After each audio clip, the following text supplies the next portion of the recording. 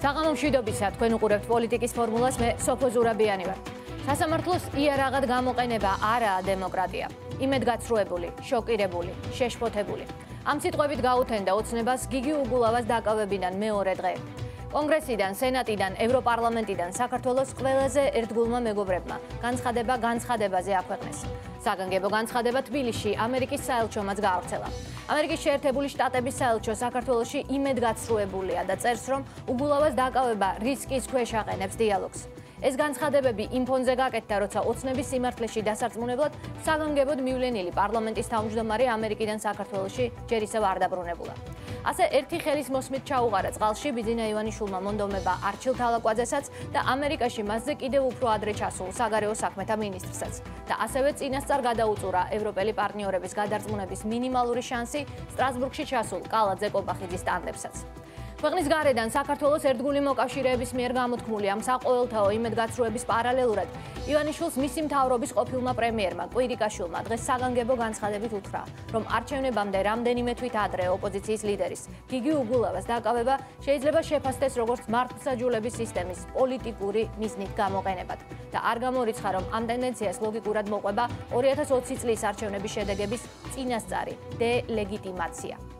უგულავა პოლიტპატიმარია მიიჩნევს საქართველოს მეოთხე პრეზიდენტი გიორგი მარგველაშვილიც. საგანგებო განცხადებას ავრცელებს სამოქალაქო სექტორიც და ასკვნის, რომ უგულავას საქმეზე უზენაესი სასამართლოს გადაწყვეტილება ოპონენტების წინააღმდეგ პოლიტიკური დევნის გაგრძელებაა. საუბრობთ მეორე დღეზე გიგი უგულავას დაკავებიდან რეაქციებზე, რომელიც საერთაშორისო პარტნიორების მხრიდან ამ ყველაფერს მოყვა და რეაქციებზე, რომელიც დღეს ქართული ოცნების ლიდერებს ჰქონდათ. ჩვენი სტუმარი ევროპული საქართველოს ერთ-ერთი ლიდერი სერგი კაპანაძეა. ჩვენ ცოტა ხანში ტექნიკური ხარვეზი გვაქვს, როგორც ახლა მეუბნებიან. დაუბრუნდებით თქვენ მანამდე თვალყურს ადევნებთ იგი უგულავას ბოლო კადრებს ციხეში შესვლამდე, როგორც თავად ხედავთ, ის თავის ფეხით მევიდა შინაგან საქმეთა სამინისტროში გუშინ და თავის ფეხით წავიდა ციხეში, როგორც თვითონ თქვა, ეს არის გზა თავისუფლებისკენ ივანიშვილის მართლობის პირობებში. სერგი კაპანაძეა ჩვენი სტუმარი. მოგესალმებით, სერგი. პირველ რიგში მინდა კითხოთ ასეთი რამ. აი რეაქციები რაც დღეს იყო, ეს თქვენთვის მოსალოდნელი იყო თუ არა? და თქვენი აზრით იყო თუ არა მოულოდნელი ოცნებისთვის? რა თქმა უნდა, მოსალოდნელი იყო. ხაშორის კიდე სხვა რეაქციებიც იყო რომელიც ახლა უბრალოდ გამოგცათ იმდენი დაემა და ვიცი დრო არ ქრონომეტრაჟი არ მოყვებოდა ჩვენ ჩართვებით გვაქვს ამერიკიდან და ევროპიდან მოგვიანებით. ჩვენ ასევე იყო განცხადება ევროპარლამენტარი მიხეილ გალერის რომელიც გერმანელი ძალიან გავლენიანი ევროპარლამენტარია. ჩვენი კოლეგები ბალტიისპირეთის ქვეყნებიდან საგარეო საქმეთა მინისტრი ლიეტუვის ლატვიის კომიტეტის თავმჯდომარე და ასე შემდეგ. ეს კიდე გაგრძელდება. ჩვენ ვიცით რომ ამ დღეებში არის საპარლამენტო კომიტეტი სტრასბურგში, რომელშიც ასევე მონაწილეობას იღებენ ოპოზიციის წარმომადგენელი ოთო კახიძე არის წასული. ეს შეფასებები უნებრივია იქნება. ამ ამ ხაშოვის ბიტაინტის საელჩომ გააკეთა კიდე განცხადება რამდენიმე წუთის წინ, სადაც ასევე თქვა, რომ ამ ეს კითხვები არის პასუხგაუცემელი ძალიან ბევრი გიგი უგულავა საქმესთან დაკავშირებით. ანუ იმის თქმა მინდა, რომ ეს შეფასებები იქნება, შეფასებები გაგრძელდება და საბოლოო ჯამში ერთი რამე გამოჩნდა რა. გამოჩნდა ის, რომ საერთაშორისო თანამეგობრობა შეთანხმდა, რომ ქვეყანაში არის ძალიან სერიოზული პრობლემა. ამაზე შეთანხმდა. ამას სხვა ინტერპრეტაცია აღარ შეიძლება უკვე რომ მიეცეს. ამაზე არის სრული კონსენსუსი. აქ უბრალოდ კონტრასტისთვის მინდა ყურადღება მიაქციოთ, რომ არც ერთი მხარდამჭერი განცხადება არ გაკეთებულა ქართული ოცნების. არც ერთი. მათ შორის არც მათი სოციალისტების მხრიდან, არც იმ ლობისტური კომპანიების მუშაობის შედეგად, ეხლა ინფორმაცია გავწვდა, რომ კიდე ერთი ლობისტური კომპანია დაიქირავა პირადად უკვე ივანიშვილმა 70000 ევროს თუ რა დოლარს უხდის თვეში. ანუ ეს ყველაფერი უაზრობაა ჯამში, იმიტომ რომ ყველა შეთანხმდა, რომ ეს ამბავი არის გარკვეული. ეს ძალიან ცუდი ამბავია საქართველოსთვის. რომ საქართველოსში ყავს პოლიტპატიმრები, საქართველოსში არის პოლიტიკური დევნა და აქედან გამომდინარე, საქართველოსში ყავს ადამიანი ხელისუფალი, რომელსაც უნდა ძალაუფლების უზურპაცია. ამაზე არის აბსოლუტური კონსენსუსი. ეს ყველაფერი იყო ცნობილი ოპოზიციისთვის, ამბობდა ამას ოპოზიცია ძალიან დიდი ხნის განმავლობაში, ახლა ამბობენ უცხო ენაზეც ყველა საქართველოს პარტნიორი ამას ამბობს ღიად. ეს რეაქცია თქვენი აზრით იყო თუ არა მოულოდნელი ქართული ოცნებისთვის? გათვალა მანეს შედეგი სპეციალურად მიდის ამ გზით რადიკალიზაციის გზით თუ სხვა გამოსავალი არ აქვს? მე ცოტათი რეფორმულირებას გავაკეთებ ის ქართული ოცნება რა არის აღარ ვიცი სიმართლე რომ ვთქვა. ივანიშვილმა, კი ბატონო. მე მგონია რომ ივანიშვილმა შეგნებული არჩევანი გააკეთა. და ეს ამბავი აღარ აინტერესებს, მოდი ასე ვთქვათ. ეს არის ჩემი აზრით, ამაში ძალიან მალე ყველანი დაურწმუნდებით. შეცდომა მისთვისაც პირადად და ქვეყნისთვის არის ძალიან ცუდი, მაგრამ ამას არჩევანი გააკეთა, იმიტომ რომ ივანიშვილს ამ შეადარდებს ის რომ კარგავს ხელისუფლებას. და ახლა რეალურად საქართველოს არ ყოფილა ხელისუფლება, რომელსაც არ დასჭირვებოდეს დასავლეთის ხარდაჭერა. არ ყოფილა ეგეთ ხელისუფლება. ჩვენ არა ვართ ისეთ ან გეოგრაფიულ გარემოში, ან თუნდაც საერთაშორისო კონტექსტში, რომ იმის ფუფუნება გქონდეს რომ თქვა, რომ აი აღარ გვინდა დასავლეთი არ გვაინტერესებს რას ფიქრობენ და მოდი როგორც ჩვენ გვინდა ისე მოვიქცეთ ორ ამაში რას გულისხმობთ? ამოუკიდებლობას კი არ გულისხმობ, გულისხმობ იმას, რომ აი არც ადამიანს უფლება იმაღლოს, არც არაფერი, ანუ პრინციპებზე და ღირებულებებზე ამოფუარს. მათ მხარდაჭერაზე არ უთქვამს უარი აქამდე არც ხელისუფლებას ამას ამბობს. მაგის ფუფუნება არ ქონია. რომ მარტო დარჩეს პირისპირუსეთთან თუნდაც, ხო?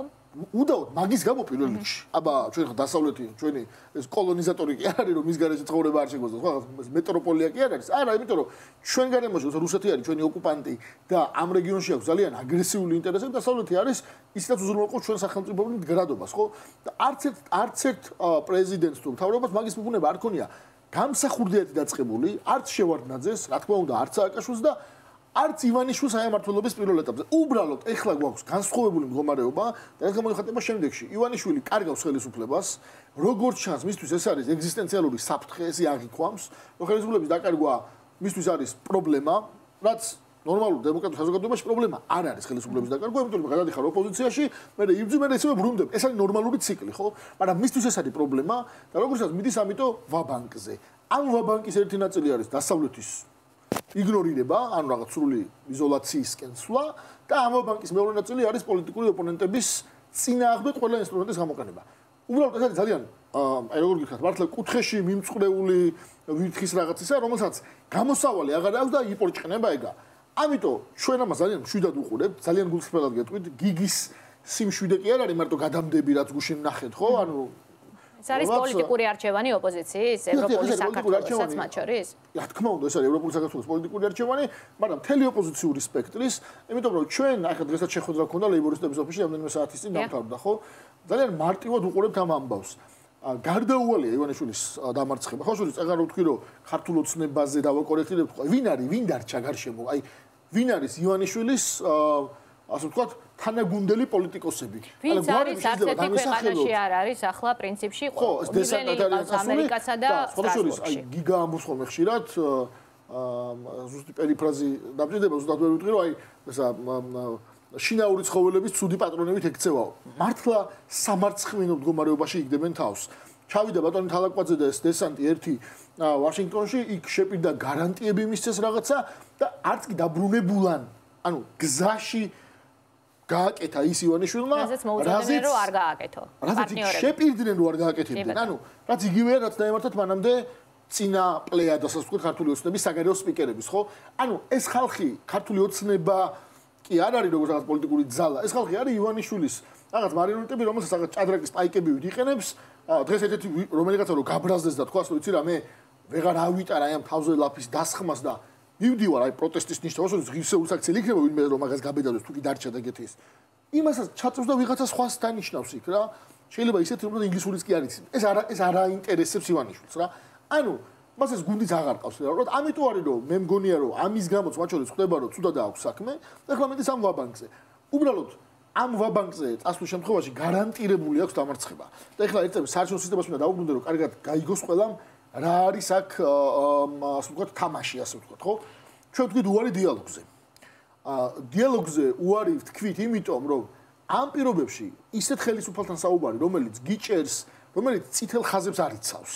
ეს მართლა დაუწერელი კანონია რომ თუ დიალოგში ვართ ერთმანეთთან არ უნდა დაგიჭირო და ანუ არ უნდა გაგანადგურო ასე ვთქვათ ხო? დიალოგის აზრი ეგ არის ხო ოღონ მაგ მაგ დიალოგის წესებსაც არ ღვევს ამიტომ მას ლაპარაკს აზრი არ აქვს მაგრამ ძალაში რჩება მოთხოვნა პროპორციულის სალაში შევა მოთხოვნა პროპორციული, ოღონდ კიდევ ერთხელ ილუზია არ აქვს, ეხლა მაგიდასთან დაჯდომით ეს იქნება მიღწეული თუ მას თუ ის გონს მოეგება. ეს მისი არჩევანი აწი. ჩვენი საუბარი აღარ ჭირდება ამას. გონს თუ მოეგება და ისეთ ფორმულაზე აა წამოვა, რომელიც ჩემთავაზეთ, იქნება ეს რაღაც 130, 20 თუ რამე ეგეთი, ხო? ამაზე მაშინ საერთაშორისო პარტნიორების მონაწილეობით რაღაცა შეიძლება შევთავაზოთ, მაგრამ მოსალაპარაკებელი კარაფერი აღარ დარჩა რა. ეს არის მისი არჩევანი. უნდა, უნდა, არ უნდა. აი რა იქნება თუ არ უნდა, რაზე შეტავდა ოპოზიცია. კარგად ეს მოდეს რომ არეგონოს ვიღაცას რომ აი ჩვენ რო ეხლა დიალოგზე ვთქვით უარი, რეალურად ჩვენ კი არა მათ თქვეს უარი, ამ თავისი ნაბიჯით. იმიტომ რომ აა სწორედ ამერიკის შეერთებული შტატების საერთო განცხადება ეს პირველი წინადადება ასეც არის. ოპოზიციის ლიდერის და აი ეს არა უძლებელს ხის დიალოგს. კი ბატონო, დიალოგს. ეგრე, ანუ მათ თქმეს უარი დიალოგს, მაგრამ ჩვენ უბრალოდ ამაზე უპასუხეთ რომ კი ბატონო თუ დიალოგი არ გინდა ჩვენც აღარ დავსწრებით მაგრამ მიზეზი დასახელებული აქვს ეს ეს აყენებს რისკის ქვეშ დიალოგს პირდაპირ უწერიათ სწორი შეფასებაა ჩვენი ამერიკელი პარტნიორები. მაგრამ ქართული ოცნება ამბობდა რომ მათ დააყენესო ეს დიალოგი საფრთხის ქვეშ საფრთხის ქვეშ მათი არჩევა და ეგ არის ძალიან კარგი ვერდიქტი მათ ამ პროპაგანდაზე რომ ეს იყო ოპოზიციის მაგრამ რაზე რით პასუხობ? ხო რით პასუხობ? და ძალიან მნიშვნელოვანია მე ამას ხანი გავჩერდი აქ. ამ კიდე ერთხელ ჩვენი პასუხი არის ძალიან მარტივი ამაზე. პასუხი არის შემდეგი. იონსის უნდა რომ მაჟორიტარები გამოეყენებია ბონუსად, ხო? ბონუსად რას ნიშნავს გამოყენება? იმას რომ იცის რომ დაბალი ხარდაჭერა იქნება 30-32% უკეთეს შემთხვევაში ალბათ. და იმედი აქვს რომ 32% თუ იქნება და პირველი პარტია იქნებოდა, ანუ პირველში გულისხმობ რომ სხვებზე მეტს მიიღებდა. ჯამში კი იქნებოდა ოპოზიცია 60 და რაღაცა, მაგრამ აი ამ ჩამონათვალში პირველი იქნებოდა, ხო? მეორე ტურები დაინიშნებოდა და მეორე ტურებში რომ ხმები გაეყოფოდა ხო მაჟორიტარებს და მეორე ტურებში მოიგებდა როგორც ეს გააკეთა სულაბიშვილთან. ამაზე ვეუბნებით რომ ეს არ გამოუვა. ანუ ჩვენ შევთანხმდებით თქვენი ფორმულა. ფორმულა არის შემდეგი. მაჟორიტარებზე შევთანხმდებით და ყველგან ეყოლება ერთი მოწინააღმდეგე. შესაბამისად, აქვს 32%-იანი მხარდაჭერა. მაჟორიტარიც იქნება მაგ რაიონში მხარდაჭერის და დანარჩენ ყველას მიიღებს ოპოზიციის მიერ კოორდინირებულად შერჩეული კანდიდატები. და ამის შედეგი რა იქნება? საბოლოო ჯამში პროპორციული შედეგი დადგება. ანუ პროპორციული რაც გულისხმობ. თუ არის მოწინააღმდეგე ივანიშვილის 60%, ეს 60% მოაგროვებს უმრავლესობას პარლამენტში. ამას ერთი მინუსი ექნება, ოღონდ აქვე მინდა გითხრათ, რომ გამარჯვებული ოპოზიცია მოაგროვებს არაადეკვატურად მეტ მხარდაჭერას ვიდრე მოსახლეობაში არის. ამ ამ შედეგსელი თქვენ? კი, მე ვარ დარწმუნებული, რომ ამ შედეგს, როდესაც ჩვენ დავლაგდებით მაჟორიტარებზე, ვარ დარწმუნებული, რომ იონიშვილი დამარცხდება, ოღონდ კიდევ ერთხელ ამ დღევანდელი მოდელის 77-73-ის პრობლემა ეგაა, რომ ვინც იმარჯვებს, იმარჯვებს არაადეკვატურად დიდი ძალაუფლებით. და ეს ძალაუფლება ექნება ოპოზიციას. მათ თვისვე იქნება ცუდი. ამიტომ ჩვენ ეს პრობლემა არა გვაქვს. სადავართ ამ თემაში წესებით გავაგზავნოთ. რადგანაც ესე არჩია ივანიშვილმა, უბრალოდ მისთვის პირადად მისი პოლიტიკური გუნდისთვის თუ კი ვინმე დარჩება ამ წაგებული არჩევნების მერე იქნება გამანადგურებელი ეს ამბავი. ეს არ არის კარგი ქვეყნის დემოკრატიისთვის, ამასვე პირდაპირ ვამბობ. იმიტომ რომ საბოლოო ჯამში პროპორციული წარმომადგენლობა არის რაც ქვეყანას წინ წაიღოს, მაგრამ არ უნდა ამ კაცს ეს და თუ ამ კაცს არ უნდა მიიღებს დღევანდელი მოდელი თუ ვერდიქტს. ამიტომ სერგეი, თქვენ ამბობთ, რომ გამოცდილი მაჟორიტარების, რომლებიც რამდენჯერმე არიან სხვადასხვა ხელისუფლების დროს გამარჯვებულები და ყოველთვის მე სახელისუფლებო თამაშ თამაშობდნენ, რომლებსაც აქვთ რესურსი იმ რაიონში, აქვს გამარჯვების ტენდენცია ყველა არჩევნებში, მოუგებთ ლიდერით ოპოზიციის, რომლის მხარეს იქნება მხოლოდ ავტორიტეტი? არა, ხალხის მხარდაჭერა. აი ეს სხვა შორის ძალიან მარტივი დასატესტი არის ყოფილი არჩევნების წინა შედეგებით. ავიღოთ ნებისმიერი არჩევნები, რომელსაც მაჟორიტარი მონაწილეობა, აი ნებისმიერი. და თქვენ ნახავთ, რომ არც ერთ არჩევნებზე მაჟორიტარის ხარდაჭერა არ ყოფილა ბევრად მეტი პარტიის ხარდაჭერაზე. ანუ თითქმის არის 100%. ხო, აი შეიძლება იყოს 1%-ული პუნქტი განსხვავება. ანუ მაჟორიტარმა შეიძლება მიიღო 47 და პარტიამ 46 ან პირიქით. ანუ აი ეგრე არის დაახლოებით. ანუ თუ პოლიტიკურ ძალას აქვს ხარდაჭერა 33%, მისი მაჟორიტარი აი სულ რო გასკდეს შუაზე, ასე ვთქვათ, ხო? აიღებს ჰა ჰა 35%. 65 არის მოწინააღმდეგე. იმ 65-ში თუ არის კოორდინირებული ერთი პოზიცია, ეს მიდის იმ აი კოორდინირებული ერთი პოზიცია. ამას მოახერხებს ოპოზიცია. დღეს გავრცელდა ინფორმაცია ასეთ რომ ჯერ ყოყმანობს, ყველა პოლიტიკური ძალა არ არის ამაზე შეთანხმებული, მაჟორიტარი საერთო ეყოლება თუ არა. ეს ამბავი ნორმალურია, სხვა შორის არ არის აუცილებელი რომ ყველგან შევთანხმდით. ეგ არ არის პანაცია. ანუ პანაცია არის რომ არ უნდა ერთმანეთს შეუშალოთ ხელი, თორე რომელიღაც რაიონში შეიძლება პირიქით სწორიც იყოს ადგილობრივი რაიონული სპეციფიკიდან გამომდინარე რომ რამდენიმე კანდიდატი იყოს. და განაცხადა მეორე ტური იყოს. ანუ ეგ ეგ მაგრამ ამაზეც უნდა შეთანხმდეთ ხო ეგ არის კოორდინაციის არსი ეგ არის. ოღონდ დიდ ნაწილში იქნება შეთანხმება საერთო კანდიდატზე. საერთო იმას კი არის რომ ყველას კანდიდატი იქნება. ზოგადად იქნება ევროპული საქართველოს რომ რომ მიეცი ხმა მას ეს იქნება. ეგ იქნება. ხო ოღონდ ის კანდიდატი იქნება ზოგი ევროპული საქართველოს ზოგი ნაციონალური ზოგი სხვა პარტიის რა. ანუ აა ეს არის შესაბამისად ფორმულა. ასევე მეორე რამეს მინდა შევეხო აი ამ აქციებს. ხო ხო, აი აქციები სანამ მივალ უბრალოდ რა. ეს ძველი გამოცდილება გვაჩვენებს რომ აი 2018 წლის არჩევნების შედეგებს თუ ავიღებ, ხო? 2018 წელს ქართული მოსვლება მოაგროვა 38%. პრაქტიკულად ვერ მოიგო ვერც ერთი დიდი დასახლებული პუნქტი. ძალიან მარტივი არის რა. და 2018-ში ოღონდ ეს მოხდა იმ პირობებში, როდესაც განსხვავებული პოლიტიკური ძალები ცალ-ცალკე გამოდიოდნენ. შესაბამისად, გვაქვს უკვე გამოცდილება როგორ უნდა დამარცხდეს ქართული ოცნება. ახლა 18-ის მერე იმდენი რამე გააფუჭა კიდე. შეიძლება 2018-ში რა ოღარ თუდეს და ეს გუნდი აღარ არის დღეს. ნახევარზე მეტი ცნობილი სახეები აღარ არის უბრალოდ ხელისუფლებაში, ხო? ანუ იმის მერე დრამატულად დაეცა მათი რეიტინგი და მაშინ იყო 38%. ეხლა გაცილებით ნაკლები არის, ხო? ანუ იმის მერე ეს არის ძალიან მარტივად მისაღწევი. ოღონდ აქ არის ფიქრობს, რომ მარტივად მისაღწევი თუ მაშინ რა არის? აა რატო რაღაც დარდობს და რაღაც ნერვი. არა. ეს არის მარტივად მისაღწევი.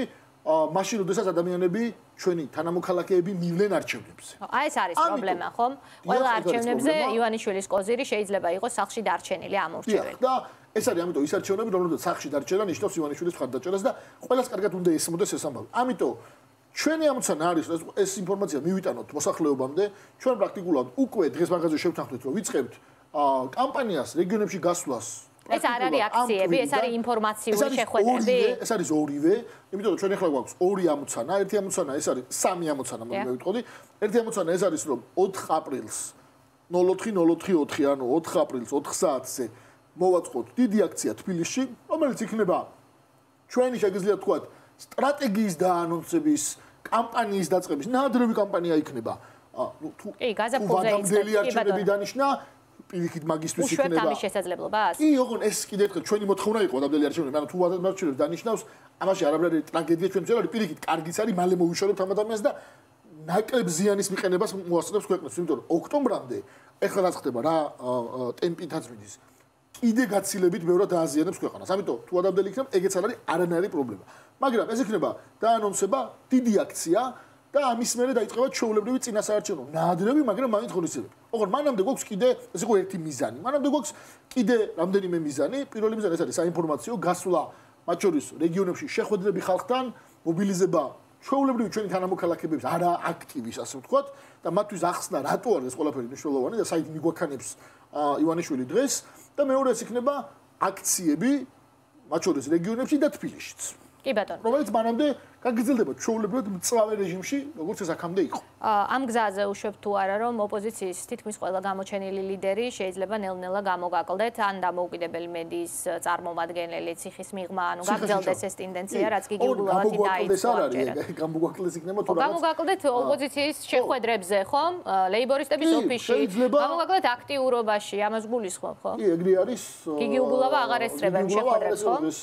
ბატონი შალვა ხუმრობა და არც პარლამენტის წინ აღარ გასა. უარი პირდაპირ წაიყვანეს მისგან ესე იგი თიული კაცისთვის ასე ვთქვათ სახლიდან სტუმრის დაყვანა ესე სხვა იმით ასოცირდება. ხო, ეგ რა თქმა უნდა არ არის გამორიცხული, მაგისი ბოლოდინი არსებობს, რომ შეიძლება დაიჭიროს ოპოზიციის ლიდერების სხვა, თავისუფალი მედიის წარმომადგენლების სხვა, რაღაც კი ახალი საქმეები მოიგონოს, ეს არის მოცემულობა, ოღონდ ეს არ არის მოცემულობა, რომელიც შეცვლის ჩვენს დამოკიდებულებას. იმიტომ რომ ამისთვის ვართ მზად. ერთი ლიდერი წავაციხეში მის ადგილზე მეორე ლიდერი იქნება ყველას უბრალოდ ვერ დაიჭერს. ამიტომ ძალიან მარტივია. ეგ გზა არის აი შორტკატი ანუ ყველაზე მოკლე გზა მისი დამარცხებისკენ მას თუ უნდა ესე რომ გააგრძელოს სიარული დიდი მადლობა. ეს იყო სერგი კაპანაძე, საგარეო საქმეთა ყოფილი ministri ევროპული საქართველოს ერთ-ერთი ლიდერი. და როგორ ფასდება ამერიკაში ოპოზიციის ministris მოადგილე, ბოდიშვი ხდი, პარნა სერგი. როგორ ფასდება ამერიკაში ოპოზიციის ლიდერის გიგი უგულავას დაკავება და უყოვნებლივი რეაქციები გუშინ საღამოსვე იყო, ოპოზიციის დევნა მიუღებელია. სუბუქი ნათქვამი იქნება, რომ ეს უბრალოდ გვაწუხებს წერენ ამერიკელი სენატორები და კონგრესმენები, რომელსაც დღესაც შეცდომაში შეყვანილს უწოდებდნენ მართველი პარტიის გუნდის წარმომადგენლები პარლამენტში. იმ პარლამენტში, რომლის თავმჯდომარე ახლაც ამერიკაში იმყოფება და ბიუჯეტის რესურს რომ თავი დავანებოთ ამერიკაში დიდ ენერგიას ხარჯავს პარტნიორების სხვა სიმართლეში დასარწმუნებლად. დავით ნიკურაძე ფორმულას კორესპონდენტი ამერიკის შეერთებულ შტატებში გვეტყვის მეტს ვაშინგტონიდან.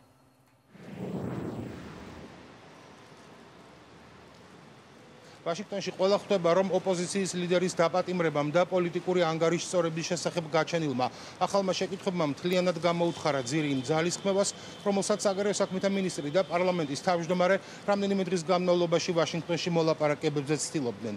ამერიკის სახელმწიფო მდივნის ყოფილმა მოადგილემ დევიდ კრეიმერმა რომელსაც ახალხანს ვესაუბრეთ გითხრა რომ უკეთესი იქნება ქართული ოცნება საერთოდ თუ აღარ გამოუშვებს ამ ხალხს ვაშინგტონში თუ კი შეერთებული შტატების რეაქცია არ აინტერესებს. კრეიმერი ამბობს რომ საქართველოს წლების განმავლობაში იყო დემოკრატიული ქვეყანა და ახლა მზარდი წუხილია იმაზე, რომ თბილისი ავტორიტარული მიმართულებით მიდის. they have to wonder themselves about their own ხელისუფლებამ თავად უნდა იფიქროს სანდოობაზე და იმ დაპირებაზე, რომელიც აქ ვაშინგტონში დადეს. საგარეო საქმეთა მინისტრის ვიზიტს ძირი გამოუთხარა თავად ივანიშვილის მიერ დაგეგმილ მაქმედებებმა. თუ მას გადაწყვეტილი აქვს კუნთები ათამაშოს და აღარ ანაღლებს რა რეაქცია ექნება შეერთებულ შტატებს, მაშინ საგარეო საქმეთა მინისტრი და პარლამენტის თავმჯდომარე აღარ უნდა ჩამოვიდნენ ვაშინგტონში და ქართულმა ოცნებამ აქ არც დელეგაცია უნდა გამოაგზავნოს. ალბათ ქართულ ოცნებას ესმის, რომ საქართველოს უფრო მეტად სჭირდება შეერთებული შტატები, რომელიც რომელიც მისი დიდი ხნის მხარდამჭერია. დიდი სურვილი მაქვს, რომ ჩემს ქვეყანასა და საქართველოს შორის ურთიერთობა ძლიერი იყოს. მაგრამ ივანიშვილის ქმედებები ოპოზიციის ლიდერთა დაკავება, საპროტესტო აქციების დარბევა, მოსამართლეების დანიშვნა, რომელიც ბევრ კითხვას აჩენს, ნამდვილად ანადგურებს ამერიკა-საქართველოს ურთიერთობას. ხედავთ სულ უფრო მეტ წერილს და პოსტს Twitter-ში, სადაც შეშფოთებას გამოთქვამენ საქართველოს მხარდამჭერი კონგრესმენები. ეს შეშფოთება მზარდია და ის სიგნალი უნდა იყოს თბილისში, რომ ნამდვილად საგანგაშოა ის რაც ხდება ქვეყანაში, რომელიც ავტორიტარიზმის ზღვაში დემოკრატიის კუნძული იყო. ვაშინგტონში არსებობს მზარდი შეშფოთება, რომ საქართველოს უფრო მეტად მიდის ავტორიტარიზმისკენ და შესაძლოა ოპოზიციის ლიდერთა დაკავებამ ძალიან უარყოფითი გავლენა მოახდინოს მოახლოებულ არჩევნებზე.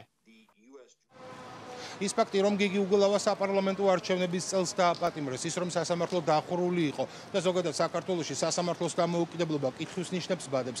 ასევე ის ფაქტი რომ გიგი უგულავას მოხდილი აქვს უკვე სასჯელი რა თქმა უნდა აჩენ შეკითხვებს პოლიტიკური ანგარიშ სწორების შესახებ. ამ საკითხზე უკვე ღიად ყოველგვარი დიპლომატიური თავშეკავების გარეშე ლაპარაკობენ. ამერიკის თავდაცვის მდივნის ყოფილი მოადგილე მაიკლ კარპენტერი ამბობს რომ პოლიტიკური პოლარიზება კიდევ უფრო მკაფიო გახდება it's certainly going to increase political polarization within Georgia. Uh, რა თქმა უნდა, ეს გაზრდის პოლიტიკურ პოლარიზაციას მმართველ პარტიასა და ოპოზიციურ, კერძოდ ევროპულ საქართველოს შორის, სადაც გიგი უგულავას ლიდერის პოზიცია უკავია. მაგრამ ამ ყველაფრის მიღმა ჩემთვის ჩნდება კითხვები პოლიტიკურ мотивაციაზე, თან ახლოვდება არჩევნები. თუ გავითვალისწინებთ იმასაც, რომ უგულავამ უკვე მოიხადა სასჯელი ანალოგიური ბრალდებით და თან ეს ბრალდებები 10 წლის წინანდელია, ჩნდება რეალური კითხვა ახლა რატომ წაუყენეს. ეს აჩენს უამრავ კითხვას პოლიტიკურ мотивაციაზე. მე პირდაპირ ვერ ვიტყვი რომ ასეა, მაგრამ აშკარად ასე გამოიყურება. კითხვები აქვს ხვებსაც უჩნდებათ. პროცესი ჩატარდა დახურულ კარს მიღმა. საუბრობთ დიდი ხნის წინ ჩადენილ სავარაუდო დანაშაულზე, რომლისთვისაც ბრალი წაუყენეს ოპოზიციური პარტიის ლიდერს ნიშნულოვანი არჩევნების წინ. ეს ყველაფერი ერთად აღებული და ის ფაქტიც, რომ სასამართლო სისტემა არც წარსულში იყო და არც ახლა დამოუკიდებელი ნამდვილად აჩენს ვაშინგტონში კითხვებს. გვაქვს თუ არა საქმე ასეთ ცნობილ გამონათქვამთან. ჩემი მეგობრებისთვის ყველაფერი, ჩემი მტრებისთვის მხოლოდ კანონი. ამერიკელი ანალიტიკოსების შეფასებამდე კი უკვე ნახეთ უმწვავესი განცხადებები კონგრესის ორივე პალატის მხრიდან. კანონმდებლები იყვნენ გაკურებულები იმით, რომ საქართველოსდან ჩამოსული დელეგაცია მათ დაპირებებს აძლევდა დემოკრატიასთან დაკავშირებით და ზუსტად მეორე დღეს ოპოზიციის ლიდერი დააპატიმრეს. პოლიტიკურ ანგარიშსწორებაზე ხაზგასმა ჩვენ დილიდან ნახეთ, როდესაც კონგრესმენმა ადამ კინზინგერმა პირდაპირ თქვა, რომ სასამართლოს იარაღად გამოყენება დემოკრატია არ არის. დღეს ევროპული საქართველოს ლიდერი გიგი უგულავა დაიჭირეს. მას 38 თვე მიუსაჯეს იმ დანაშაულისთვის, რისთვისაც სასჯელი უკვე მოიხადა. სუბუქი ნათქვამი იქნება, რომ ეს უბრალოდ გვაწუხებს. სასამართლოს იარაღად გამოყენება დემოკრატია არაა. იმედგაცრუებული ვარ იმით, რომ საქართველოს გადაწყვიტა გააძლიეროს პოლიტიკურად მოტივირებული ძალადობა ოპოზიციონერ პოლიტიკოსებზე. როგორც საქართველოს საგარეო საქმეთა მინისტრს უთხარი გასულ კვირას სასამართლოს დამოუკიდებლობის ჩამოშლა და ოპოზიციის დევნა დაუშვებელია. გასული კვირის ბოლოს ჩვენ რამდენიმე დღის განმავლობაში ვადევნებდით თვალს თუ როგორ ინტენსიურად ცდილობდა თბილისიდან ჩამოსული დელეგაცია დაერწმუნებინა ამერიკული მხარე, რომ ქართულ დემოკრატიას პრობლემები არ აქვს. ბევრი შეხვედრა რომ მოესწროთ ეს დელეგაციები იყო გაყოფილი რამდენიმე ნაწილად, ცალკე მართავდა შეხვედრებს მინისტრი ზალკალიანი, ცალკე სპიკერი თალაკვაძე და ცალკე მისი ანტურაჟის წევრები. თუ რამდენად შედეგიანი იყო ეს ვიზიტები ჩვენ თბილისის აქციელით და შემდეგ უკვე ამერიკული მხარის განცხადებებით ვნახეთ. დიდი მადლობა. ეს იყო დავით ნიკურაძე ვაშინგტონიდან. ჩვენ ბრუნდებით სტუდიაში სადაც უკვე საუბრობთ ნაციონალური მოძრაობის ერთ-ერთ ლიდერთან ნუგზარ ზიგლაურია ჩვენი სტუმარი. მოგესალმებით ნუგზარ.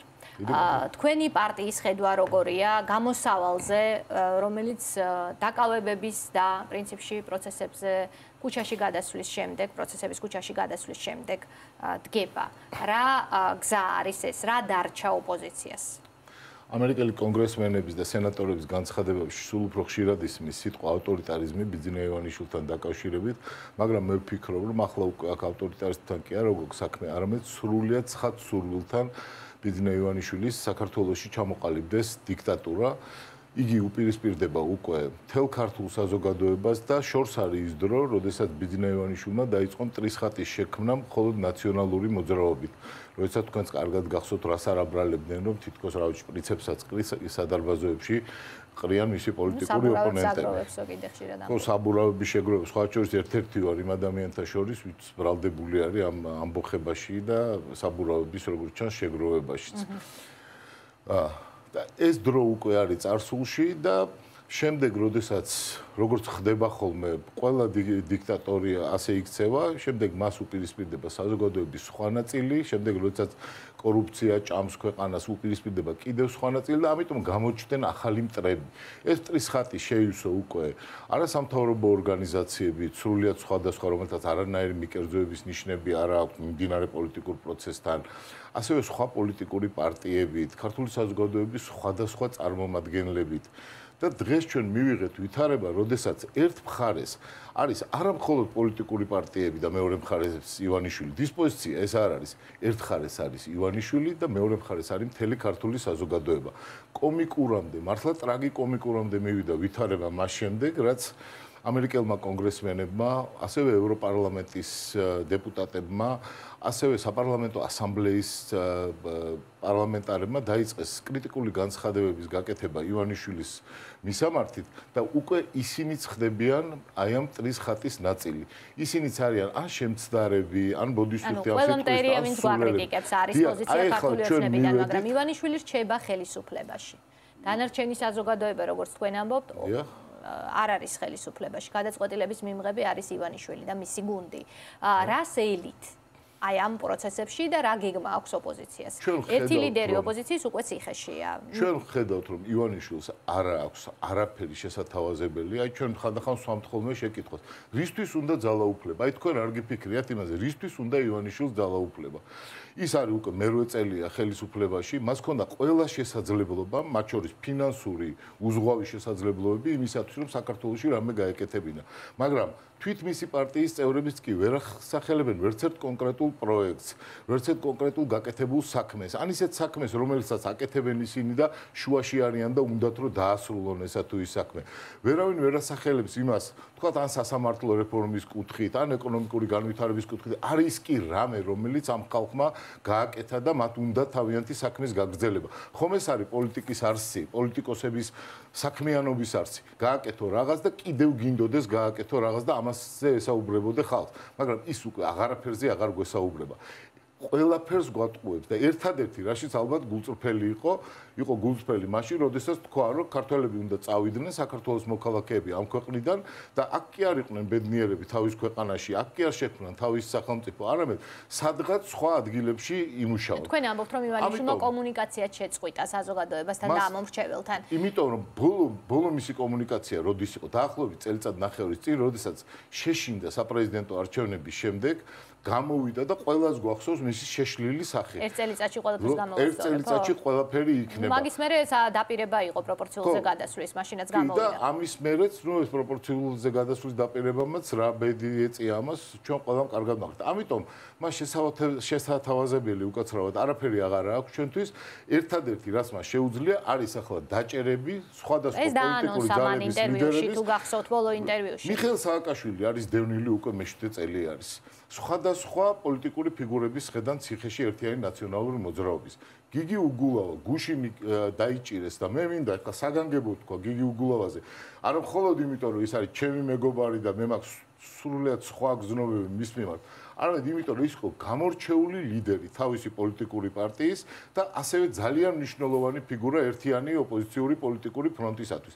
ის იქნა დაკავებული.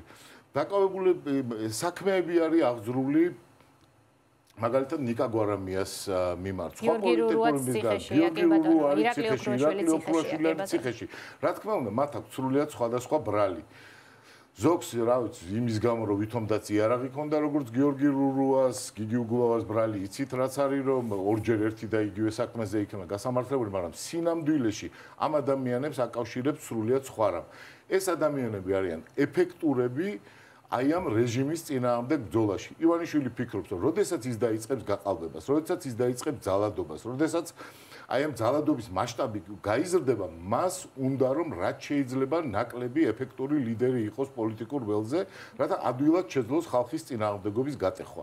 აი ეს არის ახლა აღზრული საქმეების, ასე ვთქვათ, გრძელ სიაზე არჩევნებამდე ის მოასწრებს ყველა ამ გადაწყვეტილების მიღებას, ხომ? დასრულებას ამ საქმეების, ასე? მაშინ რა გამოდის, რომ თქვენ არჩევნებს შეიძლება შეხვდეთ ყველა დაჭერილი ლიდერით? არა, შეიძლება მან მოასწროს აი ამ საქმეების დასრულება, მაგრამ საბედნიეროდ ვერ მოასწრებს ბრალის გამოტანას მთელი ქართული საზოგადოებისათვის, ქართული პოლიტიკური ელიტისათვის, თუ მას გონია რომ დაიჭერს ერთ ლიდერს და არ გამოჩნდებიან სხვა ლიდერები, რომლებიც ისედაც არიან ჩვენს პოლიტიკურ საზოგადოებაში, ეს არის ძალიან ძიმე შეცდომა და სხვათა შორის ეს არის შეცდომა ყველა დიქტატორის სოფლიოში, ყველგან საგანგებოდ ამ დღეების განმავლობაში ჩვენი ბედკრული ვითარებიდან გამომდინარე აი ინტერესით ვეცნობოდი ამას. ყველა უნიჭო დიქტატორი მიდის აი ამ გზით.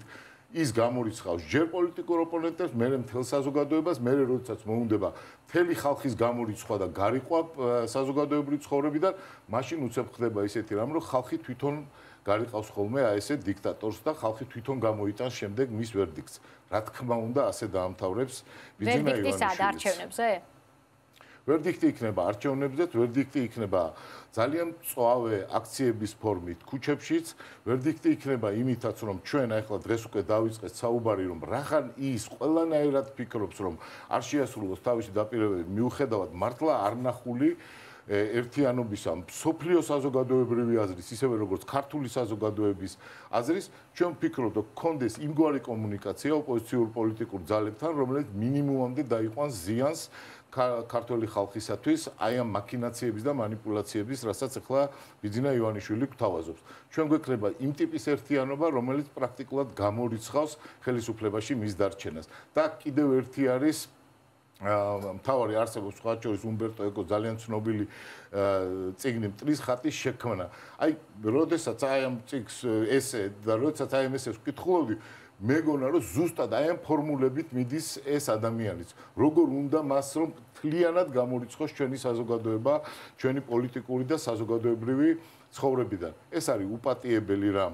ქართველების გაყრა საქართველოსთან არის უპატიებელი რამ და ამიტომ მე ვარ ხმად დარწმუნებული რომ არავინ მას ამას არ აპატიებს და საბოლოო ჯამში ჩვენ მივართ ლოგიკურ დასასრულამდე. ეს არ არის არც შეძახილი არც რაღაც სადღეგრძელო ინერციით მიხვალთ ნუგზარ თუ თქვენ ამბობთ რომ აი უპრეცედენტო ერთიანობა ახსენეთ უპრეცედენტო ერთიანობა. მოახერხებს ოპოზიცია იმ პირობებში როცა განსხვავებული რეიტინგი აქვს განსხვავებული პოლიტიკური ამბიციები დიდი ალბათობით მოახერხებს თუ არა მაგალითად საერთო მაჟორიტარებზე შეთანხმებას იმიტომ რომ ამ დროის მონაცემებით არის არის გარკვეული პოლიტიკური ძალები, რომლებიც არ არიან ამაზე ბოლომდე. მე არ მეგულება სერიოზული პოლიტიკური ფიგურა დღევანდელ ქართულ ოპოზიციაში, მართლა სერიოზული ფიგურა, რომლისთვისაც მთავარი გამოწვევა და მთავარი პოლიტიკური მიზანი დღეს არ იყოს იმ ვითარების დასრულება, რომელიც არის საქართველოში. რა თქმა უნდა, ჩვენ ვართ პოლიტიკური პარტიები, ჩვენ გვაქვს ჩვენი ინტერესები, ჩვენ უყურებთ ჩვენ რეიტინგებს, ჩვენ გვინდა ჩვენი პოლიტიკური ძალების გამარჯვება, მაგრამ საზოგადოებრივ ცხოვრებაში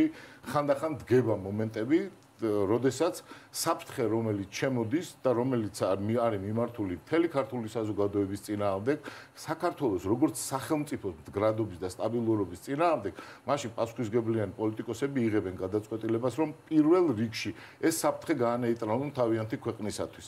ამიტომ დაწყებული არის იცით წინ არ მინდა უბრალოდ გაუსწრო დაწყებული არის კონსულტაციები. მე ვფიქრობ რომ ამ კონსულტაციებზე გამოიკვეთა ძალიან დადებითი ტენდენციები.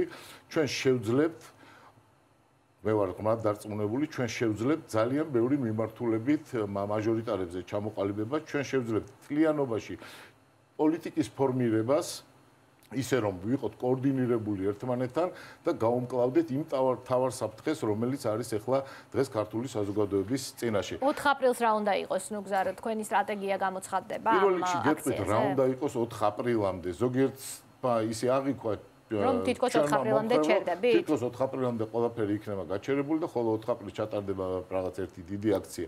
ეს ასე არ არის. 4 აპრილამდე ჩვენ ერთიანი ნაციონალური მოძრაობა, სხვა პოლიტიკური პარტიებიც, რამდენადაც ეს ჩემთვის ცნობილი არის, ვიწყებთ სიარულს საქართველოს უკლებლივ ყველა რაიონში.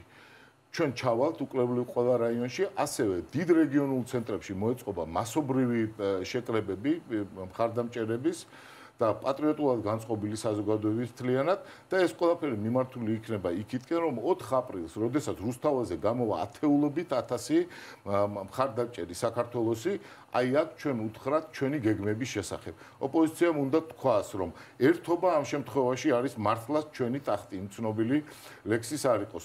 ერთობა არის ჩვენი ტახტი გარკვეული მიმართულებებით და ეს არის გამარჯვების ფორმულაც. მე ღრმად წამს ამას. ბოლოსკენ უნდა კითხოთ შტაბი, რომელიც მიხეილ სააკაშვილმა ახსენა, სად არის ამ საერთო გეგმაში, ანუ იქ ძალკე აქტივისტები იყრიბებიან და ამ დიდ სურათში ეწერებიან, თქვენგან ნაციონალური მეზრობისგან დამოუკიდებლად ხდება თუ თქვენ ხართ ჩართულები ამ პროცესში, საინტერესო პროცესია. არა, ხადი არის მიხეილ სააკაშვილის штаბი, ისევე როგორც მიხეილ სააკაშვილი თვითონ როგორც ფენომენი ქართულ პოლიტიკაში არის უპირველეს ყოვლისა დაკავშირებული ერთის მხრივ, რა თქმა უნდა, ქართული სახელმწიფოს მშენებლობასთან, ყველაზე წარმატებულ პროექტთან, რომელიც უკანასკნელი 30 წლის განმავლობაში და ან კიდევ უფრო მეტი ხნის განმავლობაში ყოფილა საქართველოსში და ეს ფიგურა ასევე არის პირდაპირ დაკავშირებული. ერთიან ნაციონალურ მოძრაობასთან ყველა გეგმა, ყველა ნაბიჯი, ყველა გადაწყვეტილება არის მიღებული. მიხეილ სააკაშვილთან ერთად ამავე დროს ქართულ საზოგადოებაში არის ძალიან ბევრი ადამიანი, რომელსაც არ აქვს სურვილი, რომ რაღაცა პოლიტიზებულ პროცესებში ჩაერთოს. ესენი არიან ახალგაზრდები, ესენი არიან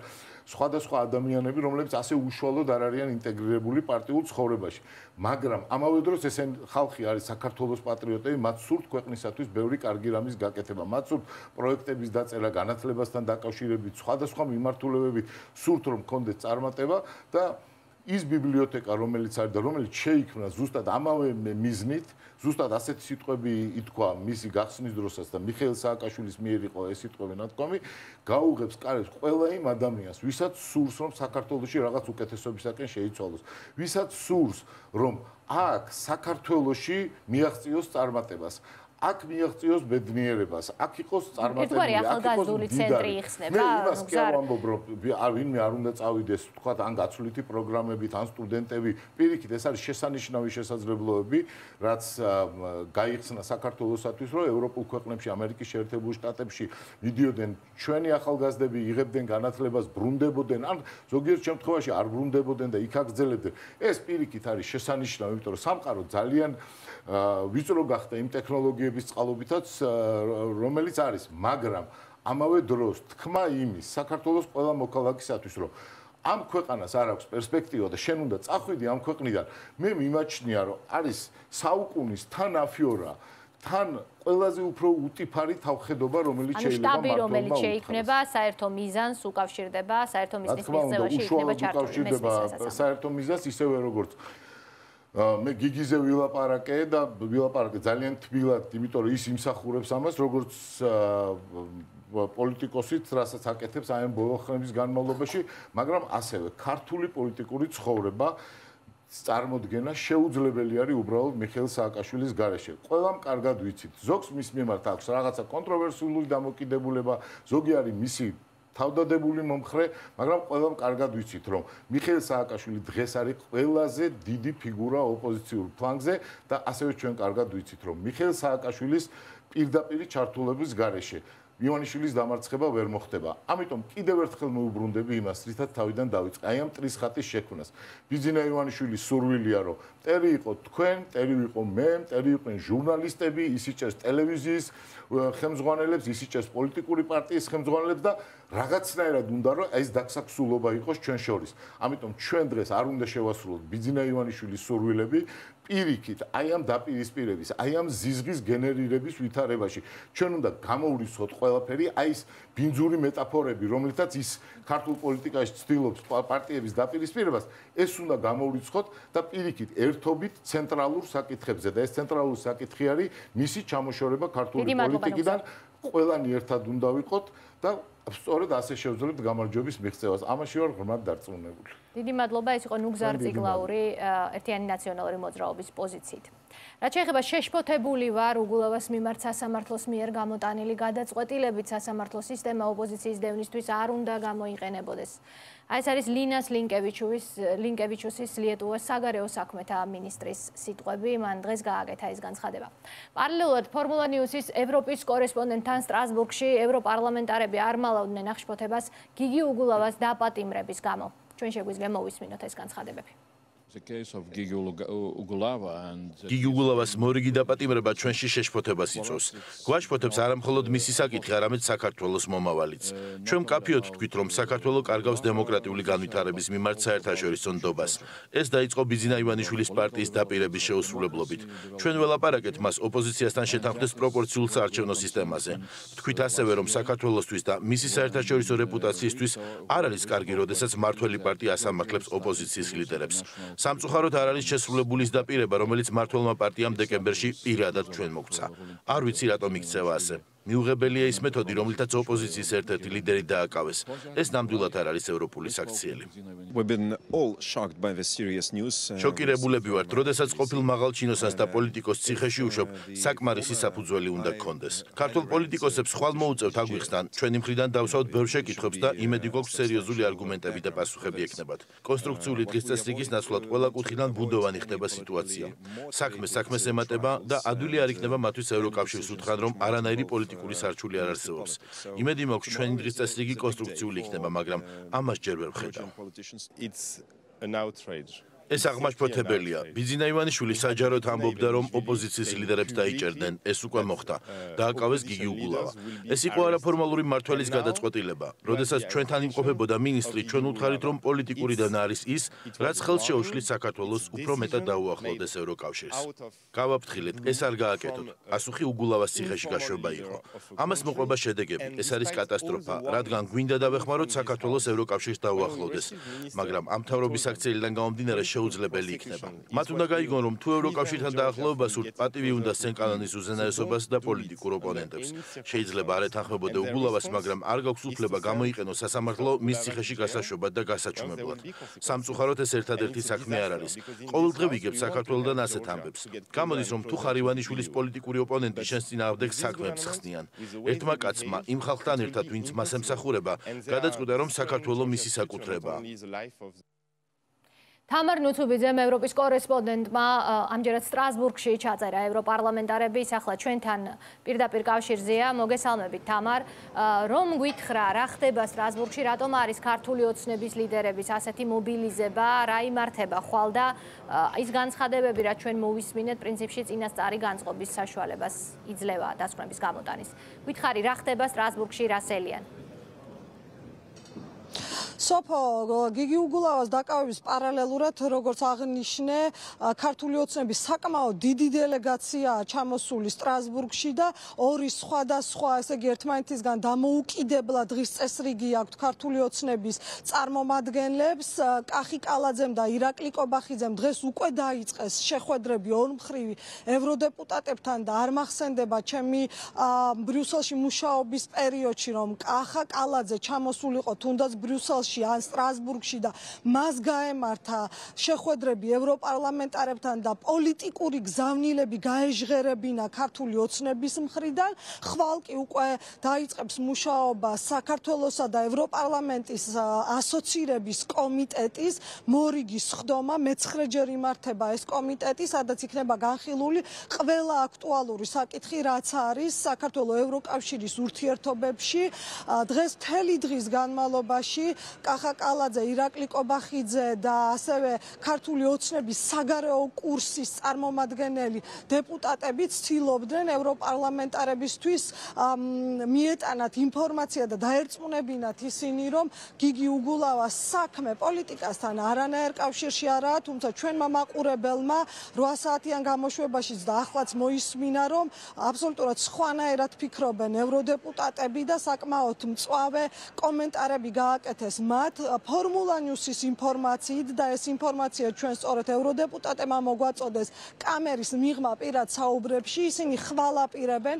დახურულ კარს მიღმა ძალიან კაფიოდ დააფიქსირონ თავიანთი პოზიცია გიგი უგულავას.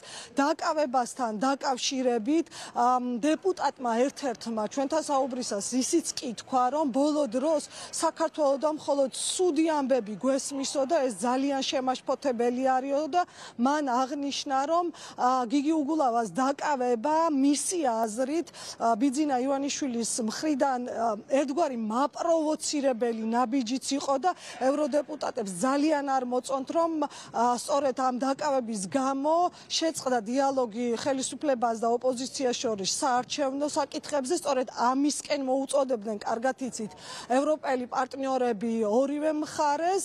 ასე რომ ძალიან შემაშფოთებელი განცხადებები კეთება მართლაც და ყურადღება მისაქცევია ის და ალბათ თქვენც მოისმინეთ რომ დღეს ევროპარლამენტარები პირდაპირ ამბობდნენ რომ ამგვარი ქმედებები იმოქმედებს საქართველოს ევროინტეგრაციაზე. და ეს საქციელი ასე უშედეგოდ არ ჩაივლის ჩვენი ქვეყნისთვის და იქნება აუცილებლად შეფერხება სწორედ ევროატლანტიკური ინტეგრაციის გზაზე რაც მე ვფიქრობ ყველაზე არის სახიფათო და ბოლოს ასევე მინდა აღვნიშნო რომ სწორედ ამ ასოცირების კომიტეტის შეხვედრის შემდეგ უნდა მიიღონ ერთობლივი დეკლარაცია. ეს ასოცირების კომიტეტი ხვალ იმართება როგორც ვიცით ამარ და ამიტომ არის დელეგაცია მან ხომ და ამან უნდა მიიღოს რაიმე კონკრეტული დოკუმენტიც ალბათ დიახ ქართული ოცნების ნახევარი დელეგაცია იღებს მონაწილეობას ასოცირების კომიტეტის ხდომაში. ორდღიანი იქნება ეს ხდომა.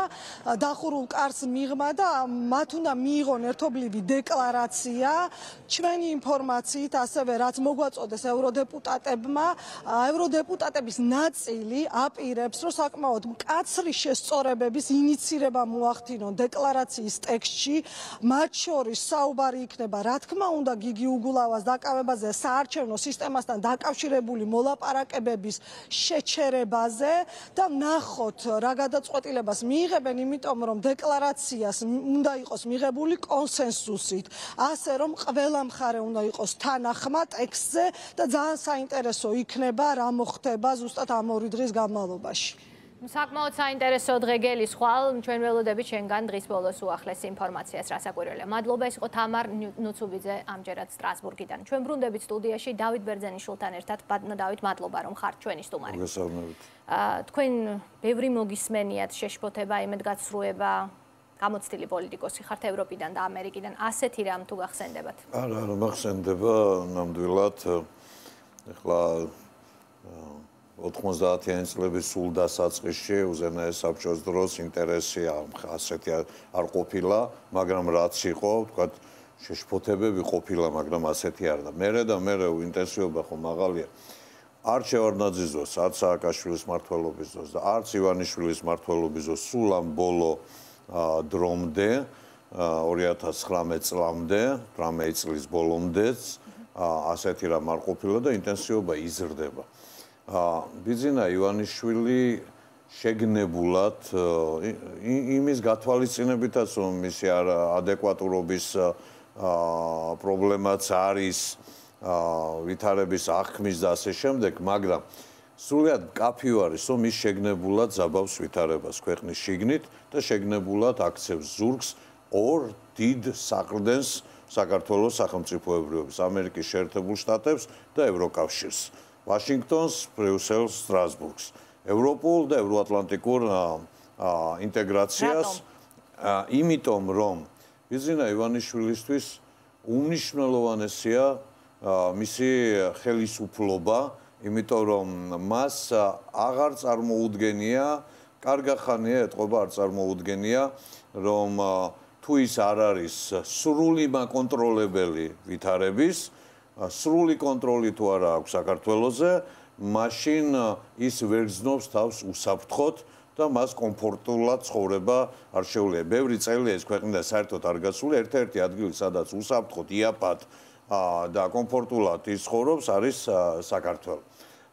მან აიტანა გახსახელისუფლებლად მასჭირდებოდა აიტანა თავიდან ну რაღაცა კოალიციურობის ნიშნები, შემდეგ ათავისუფლდა ამ კოალიციურობისგან, ერთხანს მისი პარტია იყო მისთვის საყდენი, მე მისი პარტიაც ვერ აიტანა და ნუ ვერავინ მის პარტიაში ახლა ეკაბესელია იქნებოდა თუ რა ვიცი თამარ ჩუგოშვილი თუ ყულორდავა თუ ვინც უნდა ვთქვა, ვინც კი პოლიტიკურ ასპარეზზე ქვეყნის შიგნით ზოგი უფრო ქვეყნის გარეთ სხვები ჩანდნენ, აი ესენიც მოიშორა. რა ხდებოდა? გუშინ გიგი უგულავას დაჭერა? აა მე განსაკუთრებული პატივისცემაც მინდა მას დაუდასტურო და ახლა არ მინდა ძალიან ემოციური გაომივიდეს, ამბობ ძალიან მოკლედ ვიტყვი გუშინაც მასაც უთხარი პირადად. და სანამ წავიდოდა იმ მატროსოვის ხეში მანამდე ნახევარი საათით ადრე და საჯაროთაც ვთქვი გიგი უგულავა სულ პატარაბის, სულ ახალგაზრდას აქვს ასლან აბაშიძის დამარცხებაში გამარჯვებულის გამოცდილება. ახლა გიგი უგულავას როლი და წილი განუზომლად მეტი იქნება ბიზინა ივანიშვილის დამარცხებაში. ციხე კაცის არის, ციხის არეშინია იმ ხალხს, ვისაც თავისუფლება სურს და თავისუფლება ვისთვის არის ვისთვისაც არის ღირებული. პარალელი ასლანაბაშიძესთან ასე დაასრულებს თქვენი აზრი ივანიშვილი თვითმფრინავით? ასლანაბაშიძე აფეთქა დაწვახიდები, ბიზინა ივანიშვილმა დაწვახიდები. ბიზინა ივანიშვილმა დაწვახიდი საზოგადოებას და პროგრესთან 21 საუკუნესთან, კისინგერთან, აი ევრო საბჭოში ამ კომიტეტთან, ასოცირების კომიტეტთან. სენატის საგარეო საქმეთა კომიტეტის თავმჯდომარემ რიჩ გადარეულმა თქვა და რა მოიწ ეს ხომ? ამერიკის შეერთებული შტატების სენატის საგარეო საქმეთა კომიტეტის თავმჯდომარე. ახლა ოდენობა რამოდენაა როცა რომელიც გეხმარება საქართველოს მას ატყუებ. უგზავნის ზალკალიანს. ზალკალიანი მას პირობას აძლევს რომ შევცვლით ვითარება მოწესრიგდება და ამ დროს იჭერ ამერიკის შეერთებული შტატების ელჩის პირველი შეხვედრა ქართულ საზოგადოებასა პოლიტიკურ სპექტრთან არასამთავრობო სექტორთან. ჩაუშალა ფაქტურად კიდე ოპოზიციამ ნაწილობრივ გადაურჩინა.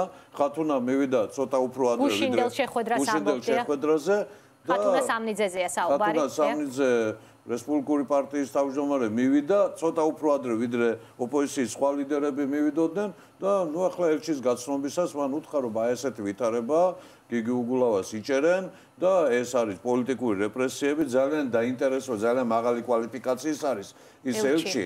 და ვითარება თვისობრივად შეიცვლება მინდა გითხრათ. ბიზინა ივანიშვილი იმდენად არაადეკვატურია რომ რამდენი ხნის განმავლობაში ამერიკას ელჩი არ დაანიშნია საქართველოში? მას ეგონა და მოახერხა სხვათა შორის რომ ასე თუ ისე უფრო დაბალანსებული ყოფილიყო ვერ ყოფილიყო ამერიკის საელჩოს გავლენა ივანიშვილის ხელისუფლებაზე. ისეთი რასაც ჩვენ მიშვეული ვართ ჩვეულებრივ პოზიტიური არის ხოლმე ეს გავლენა როცა ელჩი არ ყავდათ მაგრამ ნუ ახლა ელჩიც არის და სათანადო გზავნილებითაც არის ელჩი. მე ერთი რამ მინდა ვთქვა აი ახლა სულ რამდენიმე წუთის წინ გადავამოწმე. ა 20 ა ივნისის მსხვერპლი აა თვალებ დათხრილი. არა თვალ დათხრილი თვალებ დათხრილი. პირდაპირ მიშოთ ორივე თვალ დათხრილი. კობა ლეთოდიანი. რომელმაც ერთი თვალი აფხაზეთში ოკუპანტების წინააღმდეგ ომში დაკარგა. მეორე თვალი აქ ჩამოვიდა და თავის ქალაქში ქვეყანაში 20 ივნის იქ იყო უკრაინაში იყო დიდხანს და ნუ ახლა რუსულ ოკუპაციას არ ეგუებოდა მთელი მის ცხოვრება და არ ეგუება და მეორე თვალი აქ დაკარგა. პრაქტიკულად უკვე აღარ არის რაღაცა სამედიცინო პერსპექტივები მინიმალურადაც მაინც კაცი სულ დაბრმავდა. არ არის დაზარალებულად ცნობილი. ან დღემდე არ არის დაზარალებულად ცნობილი. მაშინ როცა ახლა ვინ არის დაზარალებულად ცნობილები, პოლიციელები და ესა გასაგებია. ამ ვითარებაში ბიზინა ივანიშვილი სპეციალურად ქმნის ისეთ ვითარებას, რომ იქნებ ოპოზიცია ამოაგდოს კონსტიტუციური სივრციდან, იქნებ გადაგვახტებებინოს საარჩევნო გზიდან, იქნებ მას გამოადგეს სააკაშვილი კლავ ტრის ხატად, დამთავრდა ეს. ერთხელ ორჯერ სამჯერ. ოპოზიციას? არა, ოპოზიცია მე დღეს ვიყავი გუშინაც ვიყავი ლეიბორისტების ოფისში შეკრებაზე. სამი ათეული წელიწადია ამ ქართული ოპოზიციის არომადგენელი ვარ ხან უფრო ძლიერად ხან უფრო სუსტად. ვინ არ მინახავს რა ვითარებები არ მინახავს. ასეთი ოპოზიციამ ქართულმა თანამედროვემ ისწავლა ერთმანეთთან ურთიერთობის კლასი. კლასი აღმოაჩნდა ამ ქართულ ოპოზიციას. დღეს ჩვენ იქ საუბრობდით იმაზე რომ ჩვენ გვჭირდება თემები 4-5 თემა ყველა სხვადასხვა ტიპის ოპოზიციას ერთიან მაგალითად რა უნდა როგორი უნდა იყოს მარსაჯულების სისტემა რა უნდა ანუ საერთო პროგრამა. საერთო პროგრამა სასამართლოს რომ თვითმართველობა ასე მნიშვნელოვანია დღეს რესპუბლიკელები ძალიან ნედლი წინადადებაც გავაჟღერენ მე იქ და პრინციპში სრული მხარდაჭერა იყო და ერთად დავამუშავებთ ამას რომ ჩვენს ვითარებაში რომ გამოვიდეს თელი ოპოზიცია იმ ინიციატივით და საარჩევნო ვალდებულებით რომ უზენაეს სასამართლოს მოსამართლეები გენერალური პროკურორი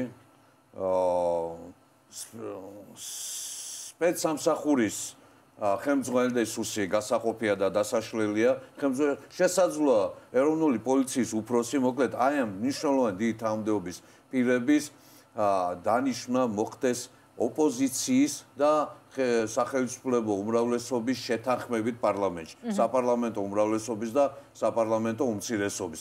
ჩვენ იქ კონსტიტუციას არ დაპოლიტიზაციას გინდათ მიაღწიოთ. დაპოლიტიზაციას გვინდა ერთი და მეორე. ჩვენ გვინდა იმ გზით კი არ წავიდეთ სააკაშვილის დანატოვარი რო გადაიბირა ივანიშვილმა და მურუსიძე იყო პეტერა კლერკი სააკაშვილის ზოს ახლა არის მოკლედ გადაბირებული ნაცი არის კარგი ნაცი და ნაცი ნაცი არის ცუდი ნაცი.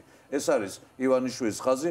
ჩვენ გვინდა რომ კი არ გადმოვიბიროთ ისინი არამედ სისტემური ცვლილებები შევქნათ. სასამართლოს ეს სისტემა ეს არსებული სასამართლო არ ექვემდებარება გაუმჯობესებას ის არის თვისობრივად შესაძლებელი და ამის მექანიზმები უნდა იყოს ერთ და მეორე ჩვენ თუ ვაპირებთ და თუ გავიმარჯვებთ და უმრავლესობაში ვიქნებით მთელი ოპოზიცია, ვინც ოპოზიციაში იქნება იმის სიმხარდაჭერისთვის გვიდა ესეთ მოდელები არსებობს უმრავლესობის და ოპოზიციის საერთო ცოტა ძნელად წარმომიდგენია ქართული ოცნება ოპოზიციაში თქვენ ხელისუფლებაში და შემდგომ თანამშრომლობა საერთო კანდიდატებზე. ხო, ქართული ოცნება ოპოზიციაში საინტერესო ამბავია.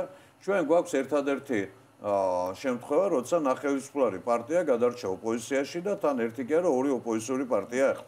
ძალიან შეუწყო ამას ხელი თავად ბიზინა ივანიშვილმა ტრისხაძე აგებული მის პოლიტიკით. აბა შევარდნაძე მის მოქალაქთა კავშირით აბაშიძე აღორძინებით გაქრა მასთან ერთად კი ბატონო. ამიტომ მე არ ფიქრობ რომ ქართული ოცნება ივანიშვილის გარეშე გადარჩება, მაგრამ აი კახი კალაძე წავიდა ეგერ ახლა და შესაძლოა რაღაცა ნარჩენები კახიმ შეინარჩუნოს და რაკი კალაძე ვახსენე ვიტყვი. ერთ მნიშვნელოვან ასპექტს. ჩვენ მარტო 20 წელს კი არ გვაქვს მნიშვნელოვანი არჩევნები. 20-21 გადაბმულია, 21-ში არის თვითმართველობის არჩევნები. ჩვენ გველის ახალი კოჰაბიტაცია ქართულ ოცნებასთან. მე მაქვს დიდი იმედი. უმრავლესობით ოპოზიცია, ხელისუფლებაში რჩება კალაძე, ერთი წელი მას აქვს თბილისის მერის სტატუსი არჩეული. ამიტომ შესაძლოა ერთი წელი იყოს, შესაძლოა ნაკლები იყოს ამ ვითარებაში. ჩვენ თვისობრივად და რესპუბლიკელები ამასაც თავაზობთ, ჩვენს პარტნიორებს რომ თვითმართველობის ძალიან სერიოზული პაკეტი იყოს შეთანხმებული, მიღებული კონცეფცია ჩვენ მზად გვაქვს, არასამთავრობო სექტორი ამ ამ თემებზე მომუშავე ხალხი მუშაობს. მე ახლა რესპუბლიკების სახელით ამას ვლაპარაკობ, რომ სხვა პარტიებს ბევრი სხვა საკითხია და მშელობის საგანია, კი ბატონო. და ამიტომ თვითმართველობა, რომ დეცენტრალიზაცია არის აუცილებელი პირობა, ჩვენი ქვეყნის პოსტსაბჭოურობისაგან გასათავისუფლებლად და თვითმართველობაც უნდა იყოს ძლიერი და ის კი ის კი აღარ მინდა რომ არიქა ეხლა კოცები განაცდნენ. როგორც მოხდა ნაცები რომ გაკოცდნენ.